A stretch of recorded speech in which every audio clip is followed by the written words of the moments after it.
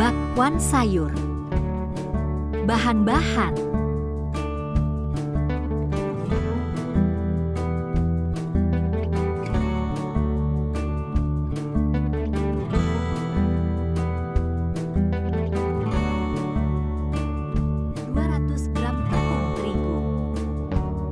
1 butir telur, 200 ml air, 1 sendok teh baking powder, 1 sendok teh garam, seperdua sendok teh merica bubuk, 100 gram kol iris tipis, 100 gram wortel serut, 50 gram daun bawang iris halus.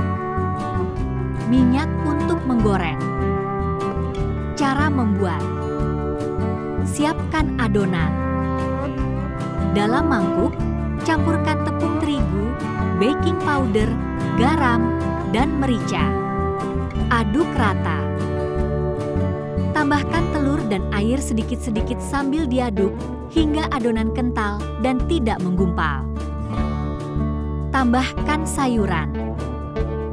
Masukkan kol, wortel, dan daun bawang ke dalam adonan.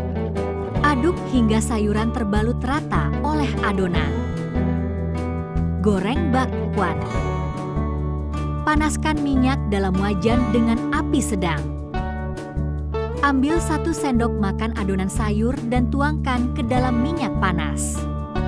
Goreng hingga berwarna keemasan sekitar 3-4 menit. Angkat dan tiriskan di atas kertas minyak. Sajikan. Sajikan bakwan sayur hangat dengan sambal atau saus sesuai selera. Selamat mencoba. Bakwan sayur ini enak untuk camilan atau sebagai pelengkap hidangan. Terima kasih sudah menonton sampai selesai. Semoga bermanfaat.